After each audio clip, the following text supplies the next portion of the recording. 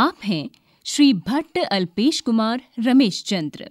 आप भी गुजरात से आते हैं। आपने गणित, विज्ञान, सामाजिक विज्ञान, हिंदी, संस्कृत और गुजराती के शिक्षण में शैक्षिक एनिमेटेड जिप्स बनाए।